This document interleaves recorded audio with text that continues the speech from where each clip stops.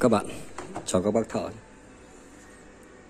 nay ờ, tôi hướng dẫn các bạn ờ, là cải thêm cái tay ờ, xét mùi rùa cho cái bộ xét mùi rùa đấy.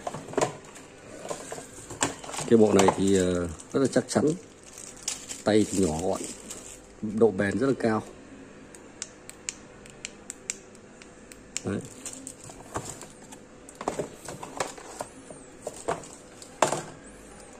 Tôi uh, hướng dẫn các bạn uh, cài thêm cái tay này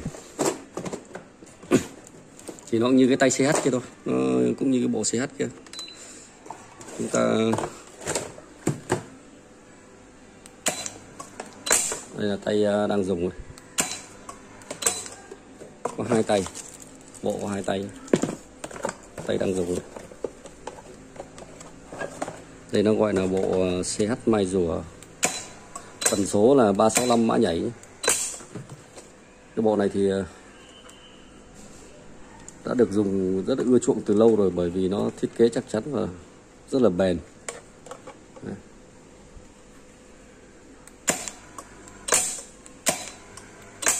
Ừ. thì để mà cài thêm một cái tay ờ, tay nữa vào. Đây là cái tay mui rùa đây tay cỏ xoài, có nhiều người gọi tay cỏ xoài đấy. Mặt gương, cỏ xoài mặt gương. Tay này là đang chưa cài được này. thì có hai cách cài nha cách nhất là chúng ta không cần sờ với hộp kia. Chúng ta đứng ở dưới cửa đấy. Chúng ta cầm cái tay đang dùng này. Nha. chúng ta gọi lệnh bằng tay. Chúng ta bấm đồng thời hai phím lên và và khóa hai phím này. Nhớ là bấm đồng thời nhé đấy, bấm đồng thời này tức là hai cái bấm cùng một lúc đấy. Phím lên và phím khóa nhé đấy, phím lên phím khóa. Khi hộp nó kêu tít tít thì nhanh tay bấm phím này. Hộp mới thế là cài được. Đấy. Đấy, đấy. ta có hai tay. Đấy. đấy. Cách thứ hai ấy. Cách thứ hai là chúng ta phải sờ vào hộp điều khiển đấy. Thì uh, chúng ta không gọi lệnh bằng tay. Tương đương với việc gọi lệnh bằng tay thì bên đây nó có nút. Chỗ này nó có một cái nút, một cái nút bấm rất là nhỏ này, tròn nhỏ đấy. đây có một nút. Chúng ta ấn vào đấy. Ấn vào đây này. Ấn vào cái nút này nhé hộp nó cũng kêu tít tít tít. Chúng ta bấm. Đấy. Rồi. Đây chúng ta có ba tay. Rất đơn giản thôi. Thường thì chúng ta gọi lệnh bằng tay cho nó dễ bởi vì nhiều hộp kỹ thuật là người ta bịt chặt rồi. Đấy, đấy ba tay.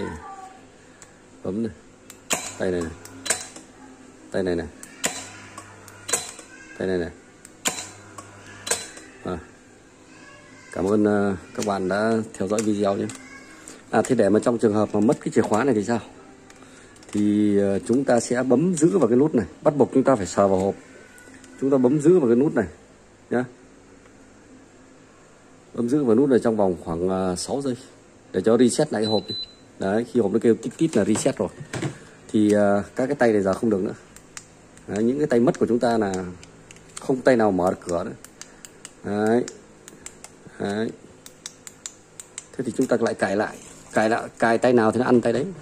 Chúng ta bắt buộc khi mà cài từ đầu thì chúng ta phải ấn vào đây. Ấn vào đây này Và ấn hai nút chéo nhau này. Đấy, đấy chúng ta được một tay. Khi đã có tay mở được rồi ấy, Thì cài thêm cái tay này Thì chúng ta mới gọi lệnh được bằng tay. Thì chúng ta dùng cái tay này để gọi này. Ấn hai nút lên và khóa này. Khi hộp nó kêu tít tít thì ấn. Đấy rồi đấy.